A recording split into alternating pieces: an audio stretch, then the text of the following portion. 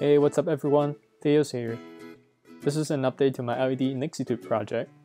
The purpose of this project is to try my best to recreate the beauty of NixieTube with LED, basically lowering the learning curve so more and more people can use it.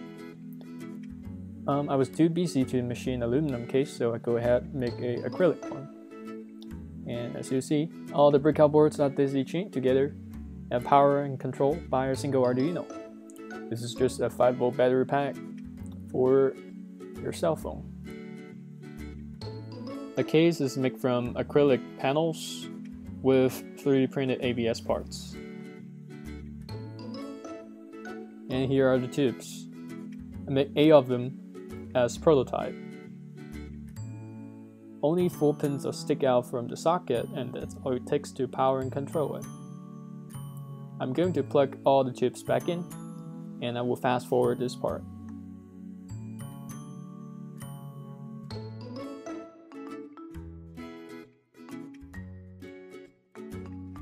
Right now, the Arduino is programmed to flush the number every 10 seconds. I will program it like a clock once I receive the RTC module. The whole system is portable so you can pick it up and carry it with you.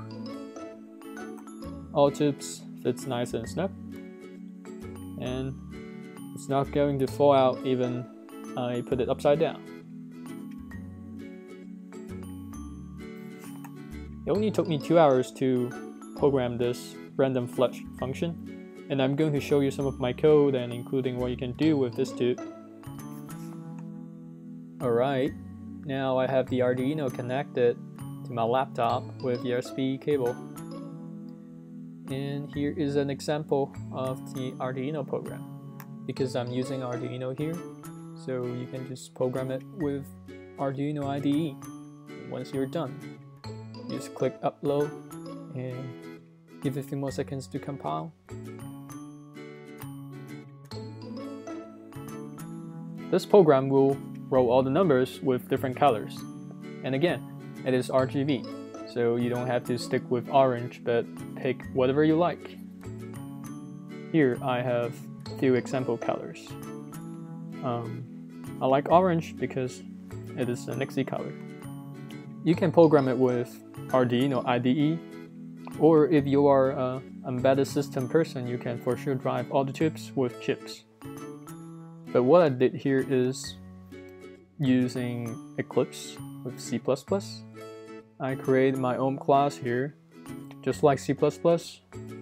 Create a constructor and put your member functions in. Uh, the way I use it is simply create an object and call it.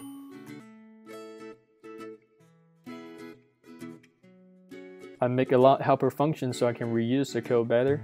The, the function flushes numbers every 10 seconds is called random line. So in the main, I simply put how many seconds I want to flush, a milliseconds, and how long I want to stay between each flush.